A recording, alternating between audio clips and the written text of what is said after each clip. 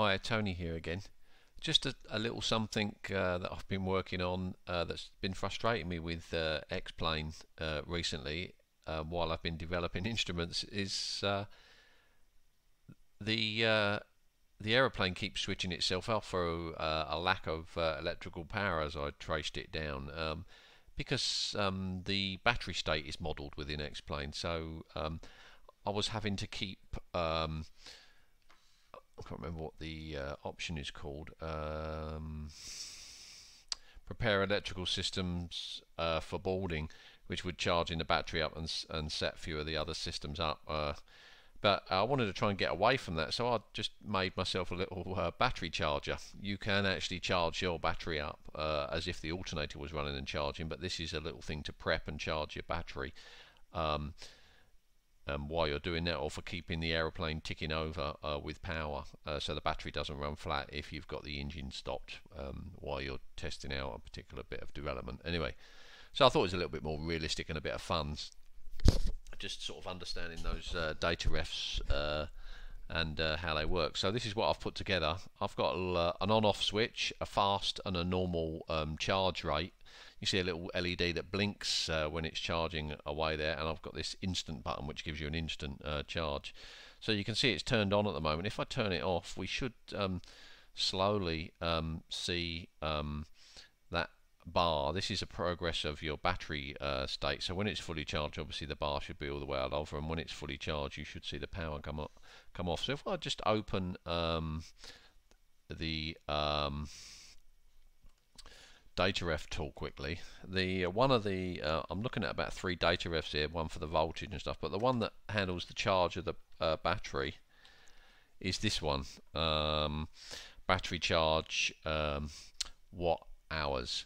Um, and uh, you can see it, it's uh, it's an array type here, so obviously you get one for, uh, depending on if you've got more than one battery. But this is just a Cessna 172, so you can just see there's one number here, and we're down to about uh, 32 watt hours. Uh, the maximum for this uh, Cessna 172 happens to be around 240, but it does vary depending on what aeroplane you've got.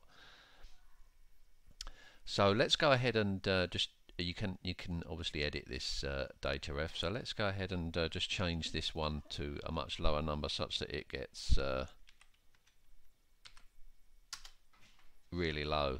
So what we've got here is the um, you can see now the charge state is uh, very very low and eventually as that number winds down to zero you'll start uh, well you will see the uh, the avionics and the other electrical systems switch off because there is no charge left in the battery whatsoever. Well, we'll see down to one now. We're approaching uh, zero. Let's just wait until it turns off and uh, we can I can show you the operation of the charger of a completely fat battery. There we go. So it's gone down to zero and you can see all the avionics are switched off and the electrical systems are off. And um, what I was finding is that things were going off, of course, and then I'll be trying to restart the engine, and of course, uh, no turning of the prop whatsoever, no turnover, the starter, just no electrical power. Now you can cure that by doing that uh, prep for electrical uh, prep systems, electrical systems for boarding. Um, but this is a, a um, a battery charger version of uh, getting that power up. So you can see it's at zero at the moment. So if I leave the switch in normal, which is a, a normal as when I switch the battery charger on, you can see uh, instantly now I've got power on the aeroplane and my number starts climbing uh, from zero and the LED starts blinking away saying that we're slowly trickle charging the uh, battery and it will eventually get up to um, full charge. Now that will take time. Um, depending on the size of your battery in the aeroplane uh, that you've got. But I've tried to make that a little bit sort of uh, realistic in terms of on normal it would take a fair time, like just like it would take to charge a real battery. Um, but there is an option to flick this switch to fast. If you if you flick it to fast, it will charge a lot quicker. So look at the update of that thing. We're not even quite on one uh, there now.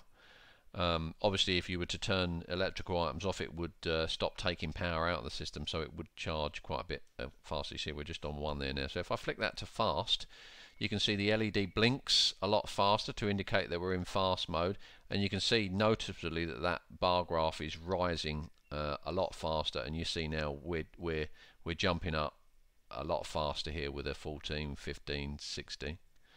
uh, with the charge rate. So there's a way of fast charging, and then of course there's a way of uh, doing an instant charge. If I if I press the instant button here, it instantly uh, refills this here. We're up to our maximum 240 there, and it's just trying to uh, drain and recharge, drain and recharge all the time. There, if I turn the charger off, you'll see it's gone from that maximum 240, and now it's just gradually winding its way down. But because we're turn the charger on, it's trying to replenish and uh, go down at the same time.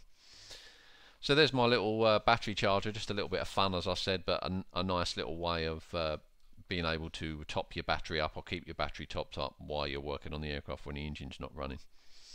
Thanks for watching, hope you enjoyed it. Bye.